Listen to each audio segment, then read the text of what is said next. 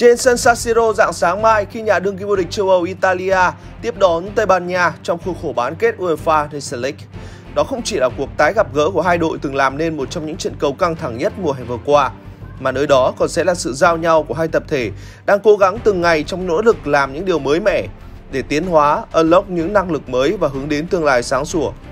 Tính từ mùa giải 2008-2009, các câu lạc bộ Tây Ban Nha đã 7 lần vô địch Champions League và có 9 lần vào chung kết tại Europa League, đó là 8 chiến thắng từ 8 lần vào chung kết. Siêu cúp châu Âu thì sao? Tỷ lệ đăng quang là 9 trên 14. Trong số 7 kỳ U21 châu Âu kể từ năm 2008, U21 Tây Ban Nha có 3 lần lên ngôi vô địch, một lần là Á quân.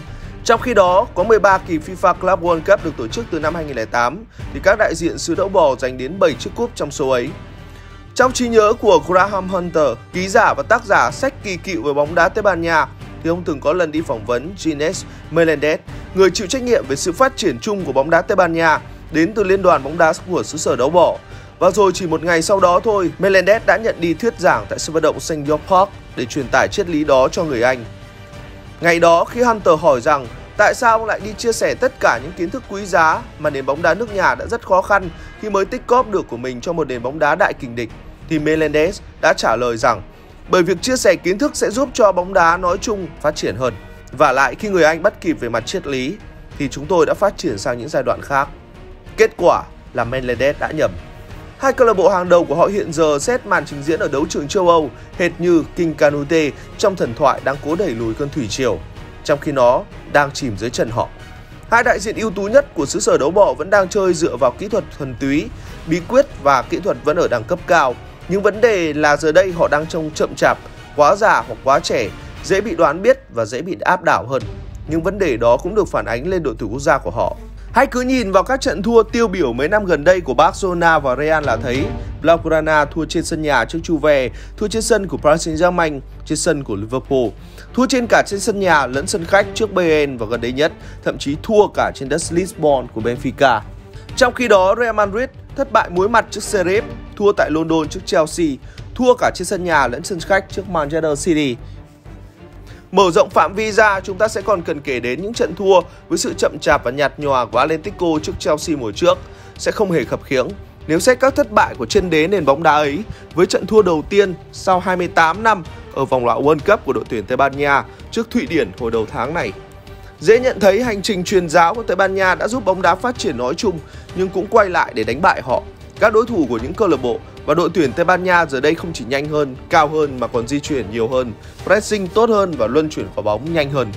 Trong khi đó, những gì diễn ra trong vài mùa giải vừa qua cho thấy khả năng chuyển bóng đẹp mắt của bóng đá Tây Ban Nha xoay quanh triết lý, nhanh hơn, cao hơn và mạnh hơn, giúp họ chinh phục cả châu Âu và thế giới trong suốt kỷ nguyên vàng đã phần nào giảm sút. Giờ đây trong hầu hết các trận cầu đinh, bóng đá Tây Ban Nha không thể thắng áp đảo các đối thủ của mình. Họ thường chật vật trong việc duy trì sự đồng bộ, khả năng pressing, giành bóng tức thì đã trở thành thương hiệu và khi đã vất vả lấy được bóng rồi thì lại thường luân chuyển nó một cách chậm chạp hơn so với ngày xưa. Hệ thống đào tạo của xứ sở đấu bò vẫn không ngừng thực hiện sứ mệnh của mình, nhưng giờ đây điểm khác biệt và mới mẻ nhất là các tài năng Tây Ban Nha giờ đây ra nước ngoài rất sớm và tỏa sáng ở hải ngoại thay vì chơi bóng nhuần nhuyễn cùng nhau quê nhà như thế hệ đàn anh. Nhìn sang Italia, có những cầu thủ trẻ Tây Ban Nha đang tỏa sáng như Brahim Diaz, Pablo Rodriguez và Fabian Ruiz. Nhìn sang xứ sở sương mù, có thể chỉ ra những Sergio Regulon, Brian Gill, Ferran Torres, Pablo Fornan và Robert Sanchez. Ở Đức thì Tây Ban Nha có các đại diện như Dani Olmo, Matteo Murray và Marc Roca. Dễ nhận thấy đó đều là các thủ trẻ và họ đang đi một chặng đường gập ghềnh hơn rất nhiều so với những gì mà Andres Iniesta, Xavi hay Jordi Alba từng trải qua. Còn trở lại với La Liga, ơn rời là người Tây Ban Nha vẫn còn có thể theo dõi sự trưởng thành của một bộ phận các tài năng trẻ khác như Ansu Fati, Petri, Gavi, Nico, Daniel Vivian, Oihan Sanchez, Unai Vencedo, Antonio Blanco, Miguel Gutierrez hay là Martin Rubimendi, những người chọn đi theo con đường truyền thống. Dẫu vậy cũng không giống những Sergio Ramos, Sergio Busquets hay Carles Puyol hoặc là David Villa ngày xưa. Những cậu chàng choi choi này cũng gặp bất lợi lớn hơn khi trưởng thành trong thời điểm mà bóng đá Tây Ban Nha cần một đợt trùng tu tái tạo rất lớn. Khi mà những điểm mạnh truyền thống đang ngày càng mai một, còn các đối thủ thì ngày càng mạnh hơn, cao hơn và hung hãn hơn, thì nhiệm vụ cấp thiết của đội tuyển Tây Ban Nha hiện giờ là hướng đến một tương lai của lối chơi thông minh, kỹ thuật nhưng cần pha trộn với chất liệu phòng ngự kỷ luật, cực kỳ nghiêm ngặt trên toàn sân. Để so sánh, họ có thể phát triển từ nền tảng lối chơi mà những Sevilla, Villarreal và Atletico Madrid đang áp dụng. Và thật may mắn và phù hợp là trong thời kỳ chuyển giao về ý thức hệ này, La Roja lại đang sở hữu trên băng ghế chỉ đạo Luis Enrique, bốn huấn viên không bám theo từng ly từng tí những gì từng biến Tây Ban Nha trở thành thế lực thống trị bóng đá thế giới trong hơn một thời kỳ trước. Sự gan lì và gai góc đã phần nào được thể hiện ở vòng chung kết Euro 2020 mùa hè vừa qua. Khi dù phải vượt nghìn trùng gian khó, đội La Roja xù xì ấy vẫn tiến vào bán kết và chỉ chịu thua đội sau đó lên ngôi vô địch. Khi gặp lại Italia ở San Siro cũng tại một trận bán kết khác, nhưng là ở UEFA Nations League vào dạng sáng mai, Tây Ban Nha bị đánh giá là cửa dưới và cũng đang bị chấn thương, tước đi vài trụ cột. Nhưng cũng chính bối cảnh đó cũng là dịp không thể thích hợp hơn để La Roja tiếp tục cải thiện phong cách và lối chơi vẫn đang được đổi mới của mình. Một Tây Ban Nha đang ngày càng khác biệt so với hình ảnh của họ trong quá khứ, nhưng là thay đổi để tiến lên giữa thời đại mới trước những thách thức mới. Thay đổi, vượt dậy, tiến bộ rồi tiến hóa. Thật thú vị thay, cũng chính là những từ khóa chia sẻ với chính đối thủ của La Roja trong trận đấu tới. Italia sau khi đi từ đống cho tàn lên đỉnh châu Âu vẫn đang tinh chỉnh và hướng đến sự tiến bộ để phục vụ cho các tham vọng lớn tiếp theo trong tương lai. Theo dự đoán của báo chí Italia mà tiêu biểu là tờ Gazzetta dello Sport, Azzurri có thể áp dụng một điều đầy mới mẻ, ít khi xuất hiện trong các trận đấu của họ suốt nhiều năm qua. Trước Tây Ban Nha vào dạng sáng mai, đó là chơi với một số chín ảo trên hàng công.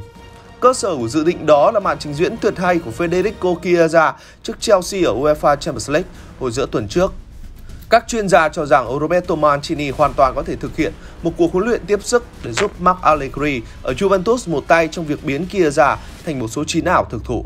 Thực ra Chiesa có thể chơi ở bất kỳ vai trò tấn công nào, vị trí sở trường của cậu ấy là ở cánh phải, rồi sang trái và gần đây nhất là bắt đầu chơi nhiều hơn ở trung lộ. Cậu ấy thiên về tấn công, sở hữu tốc độ và khả năng dứt điểm tuyệt vời. Huấn luyện viên có biệt danh Manchio nhận xét. Cũng theo cựu chiến lược gia của Manchester City và Inter Milan, kia ra còn khoảng trống khổng lồ để phát triển. Hiện tại anh là một trung phong không điển hình nhưng hoàn toàn có thể làm được chuyện đó trong tương lai.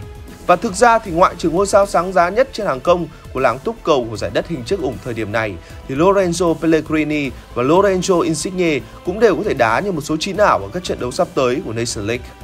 Italia đang nắm giữ kỷ lục thế giới về phương diện bất bại ở cấp độ đội tuyển với 37 trận không thua liên tiếp và hiện đang là đương kim vô địch của châu Âu.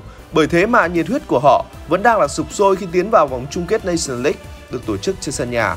Tôi kỳ vọng Italia sẽ tiếp tục chơi tốt, đá đẹp và mang lại những màn trình diễn mãn nhãn cho người hâm mộ. Mancini kết lại.